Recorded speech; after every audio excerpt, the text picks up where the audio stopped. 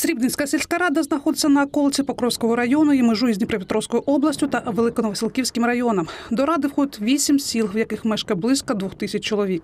І найактуальніша проблема для селян відсутність питної води в оселях. Води нема. Ну води немає у Вообще. Да, да. А коли проблема з'явилася така? Ну, вже скільки год підряд. Що ви, без води? Оце цей край, оце тут, де наші діти, тут взагалі води немає. У нас там, ми на тім краї живемо. Хоч спасіба, бо хоч як то. У нас від садика там трохи біжуть. І то з перебоями перві то забирають, а то і до краю не, не дуже взагалі немає. Ну, вже терпімо, у нас свої колодці. Так, а дуже в колодцях нема води. Ось оце колодязь, он, бачите, стоїть. Ото колодязь 11 кругів.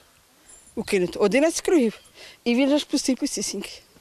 Те, що близько двох тисяч осіб щодня вирішують головоломку, де взяти воду, аби хоча б їсти приготувати, підтверджує і срібницький сільський голова Олександр Седаш. І каже, майже всі колодязі порожні. І проблема ця далеко не одного десятиріччя.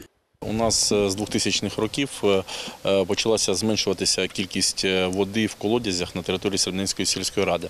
З чим саме це пов'язано, ми не знаємо. Люди навіть для домашніх потреб, потреб для приготування їжі повинні купувати воду. Зараз на даний час навіть худобу напоїти немає навіть технічної води. Тобто колодязі глибиною 15-20 метрів мають лише за півкруга води. Олександр Миколаївич каже, проблему забезпечення питною водою мешканців не тільки тих населених пунктів, що входять до Срібницької сільради, а й інших зневодених сіл Покровського району, неодноразово озвучували на зустрічах різних рівнів. І ось, як то кажуть, крига з кресла від Селидового прокладено водогін протяжністю більше 40 кілометрів, який охоплює доволі значну територію. зовсім е, нова, е, нова лінія, яка охопить е, три сільських ради. А саме це Петрівську сільську раду, там одне село, е, потім е, Новоєлизаветівська сільська рада перед Ясином у нас іде е, відвод на Новоєлизаветівку. Там два села на даний час.